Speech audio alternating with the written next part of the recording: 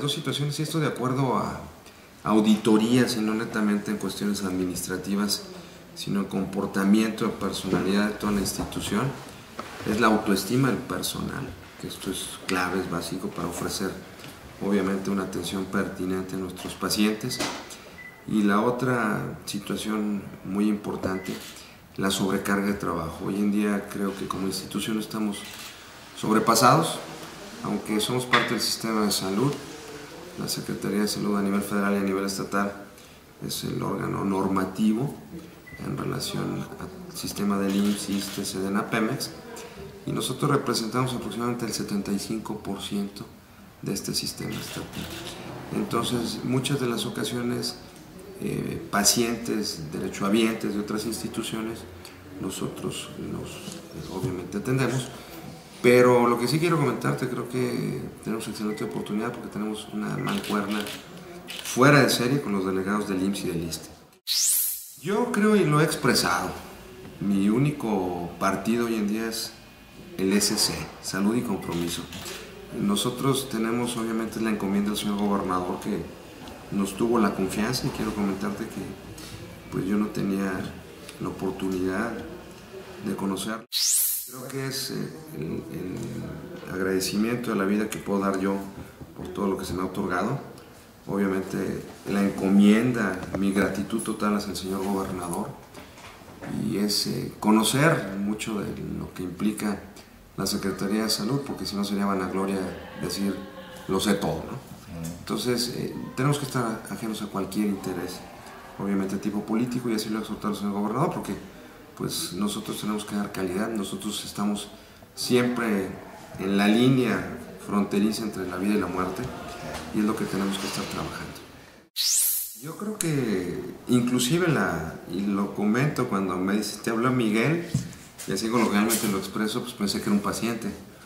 Yo estaba en otro país, Miguel, ¿cómo estás? Habla Miguel Márquez Márquez. ¿Sientes una descarga, un rayo?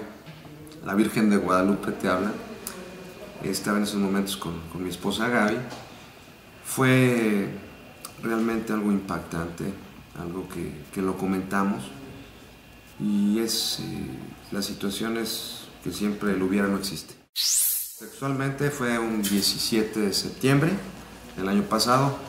Me dijo, mi buen Nacho, te espero ya después de que nos identificamos mañana porque se presenta el gabinete a las 10 de la mañana. Eh, viajé toda la noche, ya después él me lo comentó, sabía que estabas en otro país, pero te puse a prueba. Te puse a prueba porque si viajaste toda la noche es porque le vas a entrar. Mm. Y no puedo tampoco mentir, cegarme, que pues obviamente era algo desconocido para mí. Yo había estado en la Secretaría de Salud en 1987, tengo dos hermanos en la Secretaría de Salud, una sobrina tuya y una sobrina mía en la Secretaría de Salud. Y pues eh, se escuchaban muchas situaciones al respecto. Pero ya adentrándome, hay gente excelente, hay gente muy buena, hay gente muy comprometida. Y lo vuelvo a mencionar, como sistema de salud somos, la verdad, parte de aguas en muchos aspectos. Tenemos una infraestructura. Una de las situaciones es que no tengo ningún interés político es un agradecimiento a la vida, como te lo observé de primera instancia, al igual que el gobernador. Es eh, un agradecimiento también a la vida por todo lo que me ha dado. Y cada ciclo se cumple, ¿no? Eh, probablemente no sea el mejor, pero sí soy el más trabajador.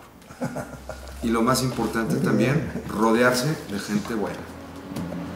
Cuando sienten mi equipo que bajo la cabeza, ellos tienen que ser inmediatamente, y en el buen sentido de la palabra, la gente que me jale las reinas, la gente que me haya hecho sentir en ese momento lo máximo y por el bien de mis pacientes. Perdón que de repente sea un poquito adverso en relación con usted, pero creo que Secretaría de difícil es salud. Y esto no dicho por mí, sino dicho por muchas gentes. Y además pues no tengo un municipio, tengo 46 municipios. Y tengo muchísima familia y tengo hoy en día casi 3 millones y medio de hijos dentro del Seguro Popular.